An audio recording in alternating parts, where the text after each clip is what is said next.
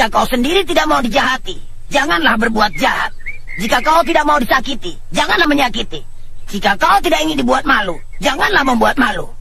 Hai kau yang berhati gelap, yang selalu dalam kesesatan, janganlah kau menjatuhkan dirimu dalam kehinaan.